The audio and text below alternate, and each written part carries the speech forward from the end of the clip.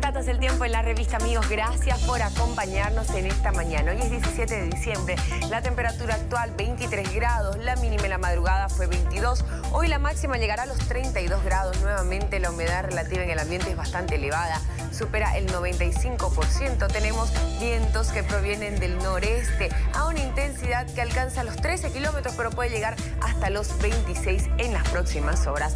A continuación, Montero, 6% de probabilidades de lluvia mínimo para hoy. Montero con 24 grados hasta el momento, 23 grados teníamos en la madrugada, hoy la máxima llegará a los 33. Continuamos y en este momento observamos qué sucede en Camiri, cielo principalmente cubierto, 22 grados la temperatura actual, 21 grados fue la mínima, la máxima será de 30.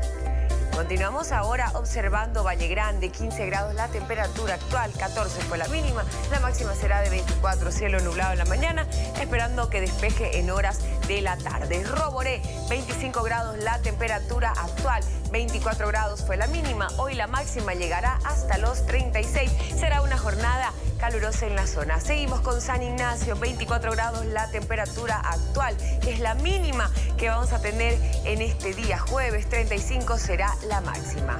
Observamos por favor también los datos del tiempo para Puerto Suárez. 26 grados la temperatura actual, 25 grados fue la mínima, la máxima será de 37.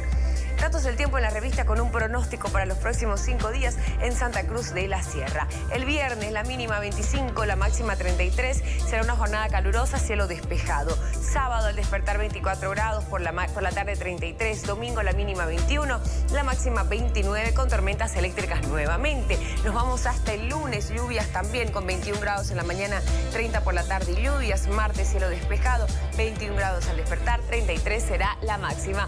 Colegas, así están los datos del tiempo con un pronóstico un poco más ampliado para observar qué pasará en los